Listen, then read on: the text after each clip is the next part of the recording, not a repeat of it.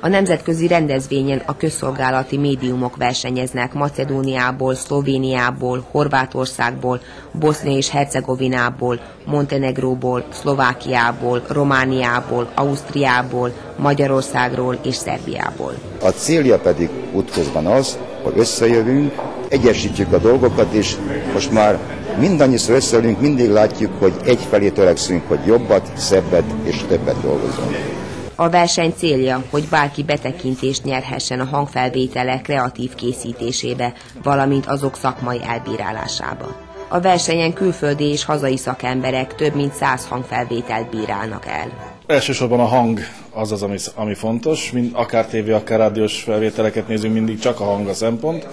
Leginkább azt ö, ö, zsűrizzük, hogy ö, mennyire felel meg az adott felvétel az adott téma elvárásainak, akár térérzet, az, ha mennyire tudjuk beleképzelni magunkat abba az, a szituációba, ahol az adott zene, vagy az adott uh, rádiódráma, vagy valaminek meg kéne szólalnia. A látogatókat hangfelvételező berendezések és felszerelések kiállítása is várja szombaton délután két óráig, ahol hazai és külföldi gyártók és forgalmazók mutatják be termékeiket. Rádióautomatizációval foglalkozunk, ami igazából annyit tesz, hogy a rádióknak gyártunk olyan szoftvert, amivel az adásaikat le tudják bonyolítani, tehát gyakorlatilag a reklámokat, szignálokat, zenéket és minden egyebet ezzel az alkalmazással oldanak meg. A 15. Taptons győztesét szombaton 12 órakor hirdetik ki.